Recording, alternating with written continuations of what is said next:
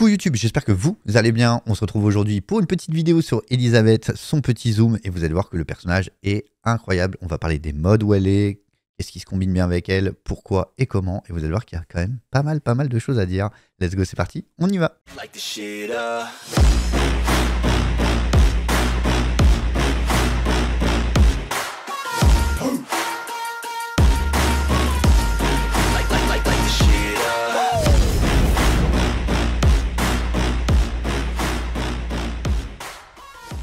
Que vous allez bien, que vous êtes en forme. On se retrouve aujourd'hui pour parler de Ellie et vous allez voir que bah, y aura beaucoup, beaucoup, beaucoup de choses à dire. Le perso est vraiment incroyable avec très peu d'étoiles. Vous allez voir. Dans tous les cas, je vous mettrai le lien du live en description. Comme ça, vous pourrez voir directement euh, les tests qu'on a fait avec elle. On l'a testé avec une, deux, trois étoiles pour voir déjà l'impact que ça aura sur votre compte. Et le personnage est incroyable. Mais avant de démarrer, n'hésitez pas à mettre un petit pouce bleu, à me dire est-ce que vous l'avez droppé, est-ce que vous l'utilisez? Et dans quel team vous l'utilisez? Ça pourrait être super intéressant. Mais le perso, en tout cas, il est ultra propre. Euh, voilà, et n'hésitez pas à vous abonner et à activer la cloche si vous aimez bien le contenu sur cette DS. Ici, on va revenir à nos moutons, on va parler de Elisabeth et on a beaucoup de choses à dire. Alors, sachez qu'on a fait les tests une étoile, deux étoiles, trois étoiles, quatre étoiles, et je compte bien finalement peut-être glisser pour la monter euh, beaucoup plus haut. Le truc, c'est que dans tous les cas, elle a été jouable dans beaucoup, beaucoup, beaucoup de modes, même avec très peu d'étoiles. Ce qu'il faut savoir déjà, c'est sur son kit. On va déjà démarrer sur son kit. Euh, le perso est euh, légendaire, elle fait partie des Chevaliers de Ness. Alors oui, je sais que ça fait pas partie des 7DS, mais en même temps, elle fait pas partie des 7DS, ou peut-être une future. Mais dans tous les cas, le perso reste extrêmement bon. Euh, hop, comme on peut voir, elle a déjà une attaque de base, normale, classique ça casse pas trois pattes un canard. Par contre, de l'autre côté, elle inflige des dégâts de 180% à l'attaque de sa cible toutes les 5 secondes, cible en priorité le DPS. Donc ça c'est très intéressant, ça va vous permettre déjà en PvP de bloquer le DPS. Applique paralysie sur la cible pendant 1 seconde 5, donc c'est vraiment énorme. Donc ça veut dire que clairement, comme elle, le met toutes les 5 secondes, elle va euh, bloquer, le perso va, bloquer, va jouer sur 5 secondes, 3 secondes 5, donc c'est pas mal. Et restaure les, les PV des alliés de hauteur de 326% euh, de l'attaque en cas de réussite. Euh, voilà, paralysie, c'est le perso ne peut ni attaquer, euh, ni rien faire, ne peut pas se déplacer pendant toute la durée. Donc ce qu'il faut savoir, c'est qu'elle a un heal sur son skill 2, et c'est ce qui va faire que, en fait, elle va heal, mais très rapidement au-dessus de Gloxy, qui lui va heal en ulti. Elle, vous avez peut-être même pas besoin de la faire, la mettre en ulti, vous pouvez juste la laisser dans la backline. Ce qui fait que ça donne forcément un personnage qui sera joué avec peu d'étoiles. Et donc ça c'est vraiment chouette. Euh, ce skill-là est vraiment bon. Alors vous allez me dire à condition qu'il y a de la précision. Oui, après ça dépend. Si vous avez des mobs, euh, voilà, qui sont, vous êtes en 4000, 4000 euh, cauchemars, effectivement, si elle a peu d'étoiles, elle ne touchera pas. Et donc si elle ne touchera pas, voilà, elle ne mettra pas paralysie et elle ne healera pas. Donc voilà, il y a des modes où effectivement il faudra un peu plus doublonner pour qu'elle soit effective, mais dans tous les cas c'est vraiment extrêmement fort. Et en PvP déjà, majoritairement vous touchez parce que très peu de joueurs build en esquive. Donc déjà, juste ça pour le PVP, c'est vraiment bon. Mais le heal, vous allez voir que c'est incroyable. De l'autre côté, on va faire octroi défense absolue 2 à tous les ennemis pendant 10 secondes et retire tous les malus des alliés. Donc, un perso qui vous clear, c'est intéressant. Et en plus, elle met des shields. Donc, vous connaissez en fait le, défense absolue. Elle met les shields que mettent euh, tout simplement euh, Gilfrost, sauf que là, elle va annihiler 2 dégâts au lieu d'un. Et ce qui fait que, 1, elle va être jouable du coup en boss de guild ou en boss, en fait, tout simplement. Et de deux, euh, ce qui va lui donner aussi énormément de survivabilité à votre team. Et donc, ça, c'est extrêmement fort. Mais ça veut dire que le perso sera jouable quand même en 1 et sera jouable aussi pour son ulti. Pourquoi? En fait, parce qu'il n'a pas besoin de toucher. Donc, ça veut dire que le perso va avoir quand même pas mal d'utilité sans doublon, juste grâce à ça. Donc voilà, franchement, déjà juste grâce à ça, elle va quand même pouvoir mettre défense absolue. Elle va mettre deux shields qui vont annuler tous les dommages. Donc elle va donner de la survivance à votre team. Après, si sur le skill 2, elle touche, vous allez voir que le heal, il est encore plus insane. Mais vraiment, il est vraiment très, très, très, très fort. Mais donc, franchement, déjà, on profite d'un perso qui est vraiment très, très, très, très bon. Alors déjà, il faut savoir, c'est qu'elle a des, quand même des très, très bonnes stats. Elle a beaucoup, beaucoup de précision. Ce qui fait que déjà, elle touche de base, mais en plus, si vous avez un bon codex, etc., vous allez pouvoir facilement toucher avec elle. Donc ça, c'est vraiment très, très bien. Et en plus, elle n'a pas une attaque qui est trop dégueu.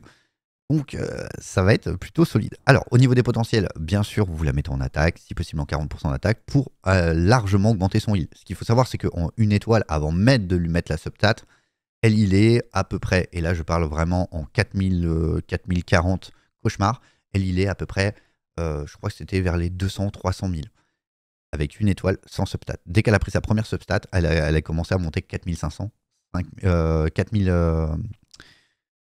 Dès qu'elle a pris sa, son euh, sa substat, elle est montée à, euh, je crois, c'est 425 millions. Donc ça veut dire que le perso heal énormément. Et j'utilisais même pas son ult pour pas mettre le shield pour justement voir la régène de heal qu'il y avait sans trop cheater euh, un peu le game. Mais sur un long combat, elle colle énormément, énormément de heal. Ce qui est intéressant à savoir, c'est que du coup, comme Gloxy, vous le mettez sur son vous mettez euh, son heal sur son ulti ou plutôt l'ulti sur son heal ce qui va se passer c'est qu'en fait Gloxy quand vous allez jouer vous allez devoir le mettre dans votre curve au niveau des ults mais là vous n'allez plus être obligé de faire ça. Un au même nombre d'étoiles voire même moins parce que là si vous voulez je peux vous faire un test avec Gloxy qui a 6 et qui a des potentiels 40 il heal moins que euh, Mistinguette sur le euh, sur le PVE par exemple je vais vous donner un exemple. Ici vous revenez ici. En soins elle est à 1 million 3 à l'écran unique. Donc clairement, vous avez compris, les substats, ça va être forcément attaque potentielle, mais 1,3 million en 5 étoiles. Si vous voulez, hop, on va faire un test. Pour vous représenter un peu la différence, on va mettre Gloxy avant en ult. Donc on reprend la même team, hein. il n'y a, y a, pas de... A a pas de test. On va reprendre la même team, on va mettre Gloxy, comme ça vous allez voir un peu l'étendue du heal sur une run complète. Donc là, on était à, un million, euh, on était à euh, euh, 100, euh, 1200 euh, millions, je crois, un truc dans le genre. de toute façon, on va le voir très vite. Hein. On va voir déjà s'il dépasse les 1 million. Non, on était à 1 million, 1 million 250. Donc, comme vous pouvez voir, Gloxy, bah en fait, le problème, bon, ça va vite, hein, mais même s'il heal une fois, il sera même pas au niveau du heal de, euh, de Eli. Donc, c'est juste pour vous, vous, montrer un peu la diff. voilà, la team est la même, j'ai rien bougé. J'ai mis Gloxy devant, on peut le mettre derrière ou quoi que ce soit. J'ai rien bougé. Dans tous les cas, la team, elle marche. Donc euh, franchement, euh, c'est assez chouette.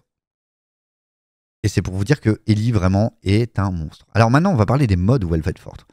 Euh, alors, dans certains modes, hop, on va aller voir. Donc la mode story, c'est sûr. Elle est vraiment incroyablement forte. Vous savez à quel point on jouait Guildfrost, qui était fort. Et donc bah là, ça va peut-être changer.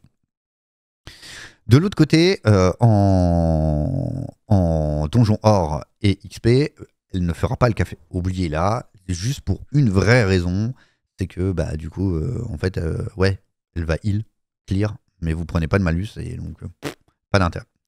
Tour des épreuves, c'est pas mal parce qu'on va la voir en action justement. Hop, on va la voir à côté de Guilfrost et du coup vous allez pouvoir jouer des teams double shield. Et double shield, c'est assez fort en fait. Parce que du coup, ça veut dire que vous êtes en perma-shield et ça va vous permettre en fait tout simplement de ne pas tomber. Donc comme vous pouvez voir, mon ban c'est une chips. Hein. Donc là, il va commencer bientôt à prendre des dommages, je pense. Bon, bon par contre, lui, euh, voilà. Et comme vous pouvez voir, hop, on remet un shield, boum, ça repart. Ok, Arthur meurt. Hop, là ça va heal, là ça va hop. Ça remet un shield, ça remet gogo. Possiblement on le passe, hein, en vrai. Mais comme vous pouvez voir, je suis à deux doigts du 40 alors que j'ai largement pas le DPS. Donc la team double shield va vous permettre facilement de tanker, que ce soit en story. Alors attention, ça, le problème c'est comme vous pouvez voir, hein, trop de shield bah, peut manquer de DPS. Après Guilfrost dans, la tour des épreuves, c'est comme le main DPS de, l'histoire. Mais euh, comme vous pouvez voir, oui, effectivement, ça, swing vraiment pas mal. En PvP, je vais vous proposer une team 1 vs 1 double shield. Donc on va essayer de taper... Euh, voilà, du coup, c'est pas. Attendez, on va essayer de prendre quelqu'un qui a notre niveau, je pense. Voilà, à peu près. On va essayer de présenter ça. Hop. Donc là, ça va être une team double shield. Et l'objectif, ça va permettre de survivre énormément. Mais ce que je veux vous faire comprendre, c'est que beaucoup de persos ont pensé que c'était un perso que PVP. Mais pas du tout. Le perso, les shields que vous allez mettre et les doubles invulnérabilités que vous allez prendre, vous vous permettent de tenir les boss. Là d'ailleurs, on va les voir juste après les boss, mais en fait, le perso est vraiment complet. Le perso, en fait, est un des meilleurs supports à la, base sur le jeu. Regardez, je n'ai pas perdu un PV. Et j'ai plus Gloxy dans ma team. Donc en fait, clairement, elle va prendre le rôle de heal. Euh, first heal. Bon, j'ai pas eu le temps de faire les 3 vs 3 au niveau des teams. On va les voir dans combat d'avènement. Je vais vous proposer une petite team, tout simplement avec Mistinguette. Et vous allez voir que, bon, alors, je l'ai placé là. Pour euh, clear, etc. Après, c'est pas forcément le top, mais on va voir, vous allez voir que le heal, il est incroyable, et la bulle, ce qu'elle va faire, c'est extrêmement fort. Là, je veux surtout la bulle. Ok, donc là, tout va bien. On bulle. Ok. Là, comme vous pouvez voir, ils ont perdu leur bulle, mais on s'est pas fait arracher par la OE. C'est-à-dire qu'en fait, vos persos ne vont pas se faire tuer sur le boss, surtout si le boss est un peu lent qui permet de, euh, de, faire, des, euh, de, faire, des, trucs ou des choses comme ça. Donc en fait, ça veut dire que elle va vous permettre d'avoir la durabilité que vous n'aviez pas forcément avec les autres. Et comme elle ajoute un très très gros heal, effectivement, alors ça dépend des boss, comme je le disais, mais euh, si vous allez chercher un healer, vous allez plus souvent aller chercher une Elisabeth que un Gloxy, sauf si Gloxy vous apporte autre chose que le heal. Et donc, ça veut dire que bah, c'est vraiment très fort. Donjon du labo, d'habitude, on se faisait euh, détruire. Là, le, fait qu'elle bloque les attaques avec son shield plus le heal, on continue, hein, parce que c'est toutes les 5 secondes, bah, ça met énormément, énormément de distance. Et donc, ça va vous permettre de passer. En fait, là, pour le moment, elle permet de passer pas mal de choses et de monter bien plus haut dans tous les niveaux. Donc là, comme on peut voir, elle est jouée dans Tour des épreuves, joueur contre euh, PVP, voie d'avènement, euh, donjon, labo. Je pense que boss de guild et story, ça m'étonnerait pas que sur certains, elle se fasse une petite place. Donc en fait, le perso va être jouable dans tous les modes. Et ce n'est pas un, perso PVE, euh, ce n'est pas un perso PVP, mais c'est un perso PVE, PVP, et c'est ça qui est beau en fait. C'est un perso qui va combler quasiment toutes vos attentes. Alors, maintenant, on va parler du nombre d'étoiles. Dans tous les cas, pour moi, vous la mettez obligatoirement en attaque pour le heal. Surtout qu'elle a des bonnes stats. Deuxième chose, il y a un truc à savoir sur le, perso. Le perso combine bien avec d'autres persos.